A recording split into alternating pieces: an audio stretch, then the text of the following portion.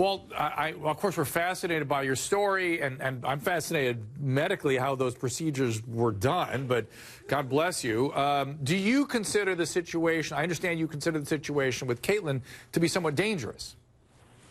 Well, I think it has the potential to be dangerous for sure. And I, I think one of the things is that the tremendous amount of uh, media and exposure uh, to someone at this point in a transition uh, with all of the pressure and all of the things going on, certainly this is the key time in a transgender's life and certainly is exciting.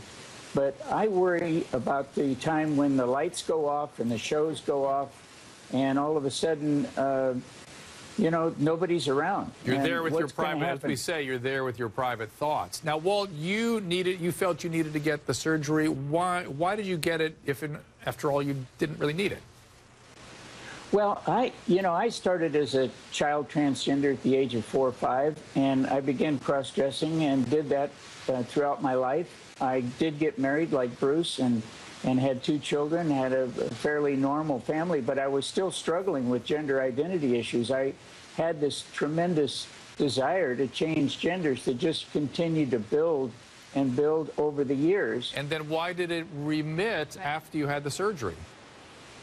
You remit, uh, well, it, you know, it was when I had the surgery, I was excited. I was, people came up to me and said, You've never been happier. And I was doing well. I mean, I was successful and I lived successfully for eight years. As a woman? I enjoyed being, as a woman, I enjoyed it. Well, what But- went wrong? well, after about eight years, and I started studying psychology uh, because I wanted to become a counselor and help people, I started to realize that there's a lot of other things that that hadn't been talked about regarding transgenders, and I learned that many transgenders suffer from what we call comorbid disorders. They're secondary uh, disorders that are not diagnosed prior to surgery, such as separation anxiety, dissociative disorders, bipolar disorders. Uh, but So, I, I would what- argue, uh, Erica, I think you'd say the same thing, which is that that's well known to be the case, Mm-hmm. but that doesn't typically rem- change the gender issue. Well, no, I, I- I kind of agree with you. What's his name? I'm sorry. His name is Walt. Well, okay, I I agree with you in that. I just, I think it's that's why I say it's so important to get, you know, therapy and to really know that it's something that you want to do because you could be, you know, transgender and want to change sexes, or it could be, me- it there could be a mental but- illness. but even and when he's are- saying but that listen, when researching well, it, no, he wait a recognized that there were other things, and it Yes, wasn't but the hold on, transgender thing. hold on. My experience has been, Walt, straighten me out on this, and my experience has been that even when you treat the associated, that comorbid disorders, Or it could be the gender issues remain. So I'm curious why they suddenly remitted or reversed in your case, even when you were living happily as a woman. That's confusing to me.